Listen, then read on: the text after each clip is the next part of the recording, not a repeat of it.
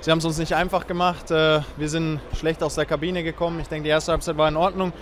Ähm, und ja, das, es gibt immer mal schwierige Phasen im Spiel, aber du darfst halt dann in der internationalen Bühne äh, keine Tore kassieren. Das vor allem zu Hause. Das, das schmerzt ein bisschen, aber ich finde unsere Reaktion danach war sehr, sehr gut. Wir haben es dem Gegner echt richtig einfach gemacht, zu diesen, zu diesen Toren zu kommen. Zehn Minuten, Viertelstunde, über die nicht aktiv war, ist vielleicht gut auch, dass man dann auch so bestraft wird. Das wird uns, wird uns helfen in unserer Entwicklung, dass wir dann noch konzentrierter, noch konsequenter in dem Bereich sind. Unterm Strich machen wir natürlich dann am Schluss des Tor, dann kann man immer sagen, ist ein bisschen glücklich, aber für uns ist es ganz wichtig, auf jeden Fall ähm, mit einer Führung dort äh, ins Spiel zu gehen. Wir haben es in den letzten Wochen gezeigt, dass es relativ schwierig ist, uns zu besiegen. Das wird aber dort nötig sein für den Gegner.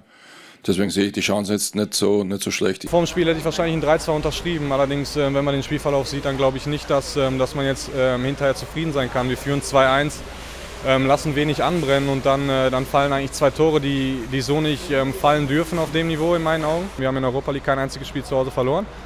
Und ich glaube, das sagt einiges über unsere Stärke auf. Dementsprechend äh, kann ja, Dortmund auf jeden Fall die Ärmel hochkrempeln.